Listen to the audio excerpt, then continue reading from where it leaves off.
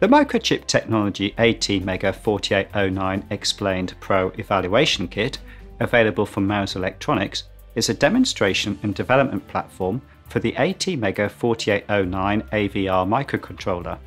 Supported by the Atmel Studio IDE, the evaluation kit provides easy access to the features of the ATmega4809, enabling engineers to fully understand how to integrate the device into a custom design.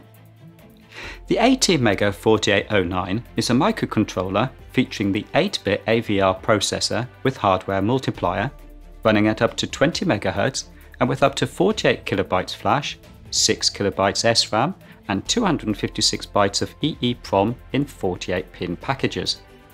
The series benefits from the latest core independent peripherals and low power features including three sleep modes, idle, standby and power down, and a peripheral event system that minimizes CPU activity and hence power consumption.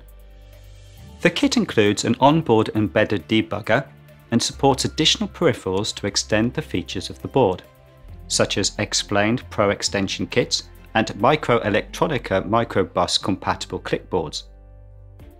The board also features user and reset buttons, one yellow user LED, and has a dual power supply selectable at 3.3 or 5 volts.